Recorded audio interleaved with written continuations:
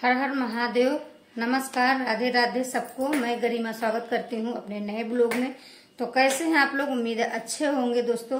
तो कल मैंने एक वीडियो छोड़ा था जो कोई भाई है कि बहन है नहीं मालूम है लेकिन वो जो है आ, कमेंट किए हैं कि गुलाम हैदर जो है अपने सऊदी गए थे कमाने के लिए और सीमा को उसके बच्चे को रूम लेकर के रेंट पे दस हज़ार पे जो रखे हुए थे कमा के वहाँ से पैसा भेजते थे सीमा।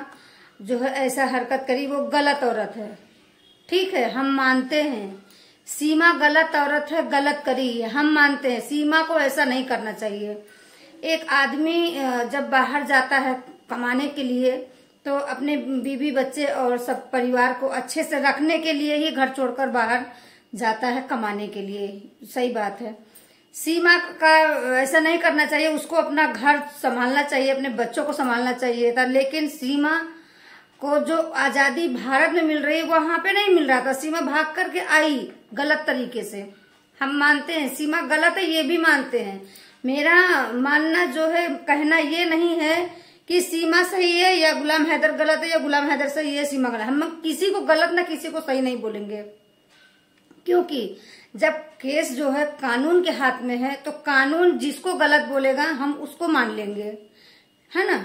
लेकिन जो आँख से देख रहे हैं तो वही बोलेंगे हम, और सीमा ने गलत किया है, ये हम भी मानते हैं, जो नहीं करना चाहिए। बच्चों जो है, चार बच्चों की लाइफ जो है, खराब कर दी है, और हो रहा है, जो अब बच्चे अपने देश में रहते, अपने बाप के पास में रहते हैं तो पढ़ाई लिखाई करते, उनका भविष्य बनता है लेकिन आज यहाँ पे है ना, पढ़ाई लिखाई कुछ भी नहीं हो रहा है सब बच्चे का भविष्य खराब हो रहा है, सीमा गलत करी है नहीं करना चाहिए। ऐसा नहीं है कि सीमा के लिए सिर्फ़ भारत में ही परेशान है। नेपाल में भी केस चल रहा है सीमा के लिए, है ना? नेपाल में भी बहुत ऐसे लोग हैं जो सीमा के इस हरकत से परेशान है है ना? कल मेरे घर पे कुछ गेस्ट आए थे जो मुस्लिम भाई हैं, लेकिन हमारे हस्बैंड के जिगरी दोस्त हैं। मैंने कल उनके बीच में भी ये बात रखा। उन लोग भी यही बात बोले, सीमा गलत है। हम भी बोल रहे हैं, सीमा गलत है। सीमा गलत करी है। नहीं करना चाहिए। लेकिन बात यहाँ पे आती है जो बहुत से ऐसे वीडियो आता है पाकिस्तान के भाई बहन है, छोड़ते हैं और भारत के भी कुछ भाई बहन है जो छोड़ते हैं। मेरा कहना ये है कि गाली गलौज ना करके अच्छे से, शालीनता से अपनी बात रख सकते हैं। क्यों नहीं रख रहे हैं? ज़रूरी नहीं है कि हम गाली गुप्ताली दें, सीमा को एकदम गंदी गंदी गाली दें, एकदम नीचा दिखाएँ, तभी हो, क्योंकि वो भी एक महिला है, हम भी एक महिला हैं। सबके घर में माँ बेटी हैं। ये बात जो है मोबिन सर भी, मोबिन मलिक सर जो वकील साहब हैं, वो भी बोले हैं कि किसी को अभद्र भाषा का प्रयोग ना करें। किसी को गाली गलौज ना करें। बात रखना है, बात से बात रखिए। लेकिन एक दो चैनल है जो इंडिया की है, वो हम देखे हैं। ज़्यादा बड़ा चैनल भी नहीं है, लेकिन गाली तो हो, गाली तो इतना दे रही है, इतना दे रही है कि शायद क्या बताएँ हम। खुद एक महिला होकर के, एक महिला को इस तरीके से तार तार करना कोई ज़रूरी है? बात रखिए, वीडियो बनाइए। हम ये नहीं कह रहे हैं कि आप लोग वीडियो मत बनाइए। विरोध मत करिए करिए, लेकिन गाली गलौज मत करिए। आपस में लड़िए मत। ये सीमा के चक्कर में वीडियो बनाने के चक्कर में आपस में भिड़ जाते हैं। उनके लाइफ में जाते हैं तो गलत कमेंट करते हैं, वो उनके लाइफ में जाते हैं तो गलत कमेंट, वो भी फेक आईडी बना करके। ये कहाँ तक का सही है? मैं इस चीज़ को बोल रही हूँ। विरोध करिए, वीडियो बनाइए। लेकिन अपने दायरे में रह करके। एक सीमा होता है ना हर एक चीज़ का, सीमा के अंदर रह करके करो। हम ये नहीं कह रहे हैं कि विरोध ना करो, सीमा को जो है, सीमा के खिलाफ ना बोलो या मतलब कुछ भी ऐसा हम गलत नहीं कहना चाहते हैं। हम क्या कहना चाहते हैं वो चीज़ को समझो। और जो भाई या बहन मेरे वीडियो में कमेंट किए हैं तो बहुत अच्छा लगा कमेंट करने के लिए दिल से शुक्रिया। आपने अपनी बात रखी, मुझे बहुत अच्छा लगा। बात के ज़रिए से बात रखा जाए तो बहुत अच्छा लगता है। वहीं पे जब गाली गलौज की बात आती है, किसी की इज़्ज़त को तार तार जब किया जाता है तो बहुत गलत लगता है। वहीं पे जो सीमा जो हरकत करी थी बबीता रानी, उनकी चाची है कि उनकी मौसी है कि उनकी कौन है, क्योंकि हम वीडियो नहीं देखते हैं।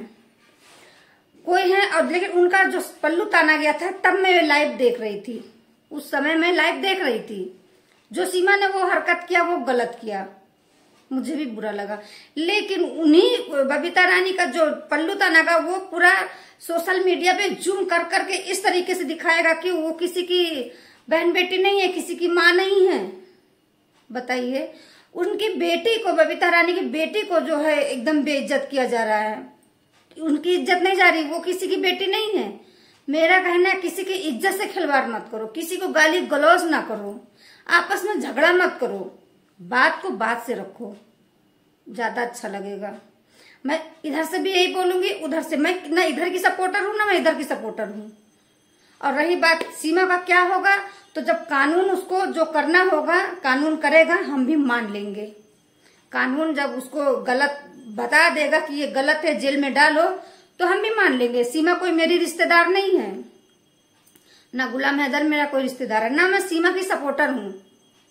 लेकिन बात यहाँ पे गाली गलौज की आती है, जो गंदी गंदी बातों से जो नवाजा जाता है, एक महिला को तार तार किया जाता है, वो ना करें। मेरे कहने का ये मतलब है। दोस्तों, उम्मीद है कि मेरी वीडियो आप लोग को समझ में आ गई होगी कि मैं क्या बोलना चाह रही हूँ, क्या कहना चाह रही हूँ।